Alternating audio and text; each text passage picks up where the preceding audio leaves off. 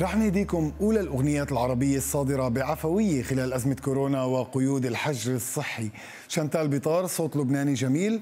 من صالون بيتها قدمت كلمات ريان الهبر وغنت عم تخطر عبالي بالحجر الصحي. وبعد ما حصد الفيديو العفوي ملايين المشاهدات تحول المشروع لتصوير كليب رسمي للأغنية عبرت عن حال آلاف المبعدين عاطفيا خلال هالأزمة.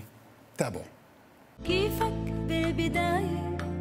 وقتك كيف شو وضع الوقاية وشو وضع التنظيف؟